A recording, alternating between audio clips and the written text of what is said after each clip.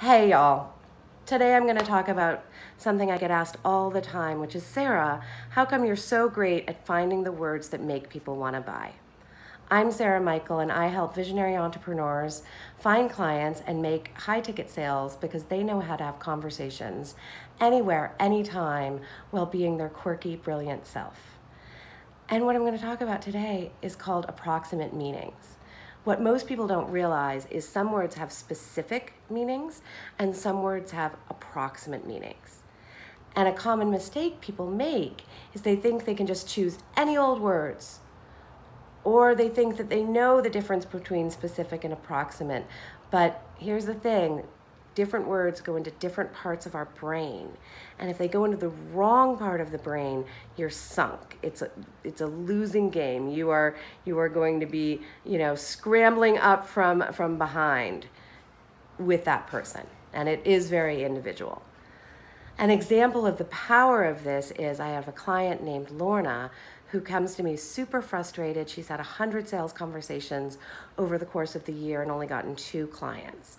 So we dug into this. We bailed on all industry jargon, all the things she said that, that she said that made sense to her.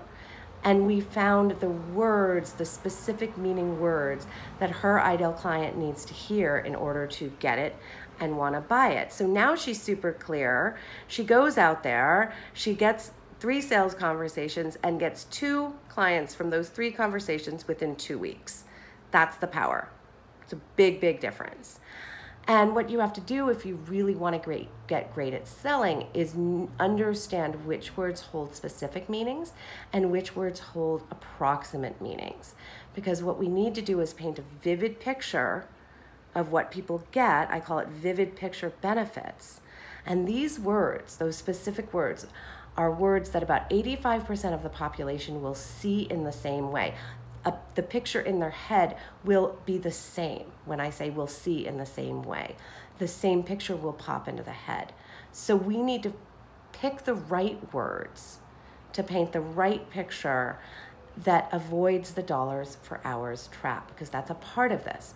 You say the wrong thing at the beginning, you go into the wrong area of the brain, and then you come out with a dollar amount that you're now requesting larger than the perception of the person, once again, you're sunk.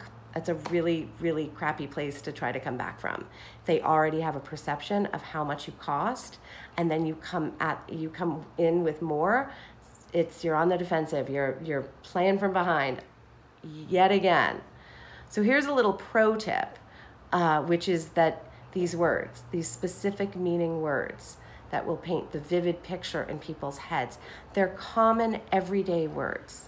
They're the words you use when you're talking about your work when you're not trying to do marketing speak. Marketing speak messes us up every single time. So it's what you say. I like to say to clients sometimes, like, imagine you're at brunch and you've had one mimosa. Just, I need you a little loose. I want the words, you know, to stop stop editing all the words, just talk loosely, right? I don't want not two mimosas, just one. Not not a little tipsy, but just a little loose. That's where we need you to find these specific meaning words. Yeah. So if you'd like to get my help with finding your specific words, go to talkwithsarah.com, sign up, and we will have a conversation and see if and how I may be able to help you. And I know you may be, may be thinking, oh, Sarah, I'm too hard to describe. I've tried this before. No one can help me find the words. Um, and I'm here to say, yes, we can. It may take longer um, than someone who might have a simpler or uh, more direct body of work, but I have yet to meet a client, no matter how esoteric, no matter how hard to describe, no matter how interdisciplinary, multifaceted it is, that we couldn't find words that people saw in the same way and thus helped people get it and want to buy it. It's out there for you for sure, you guys. Thanks so much. Bye.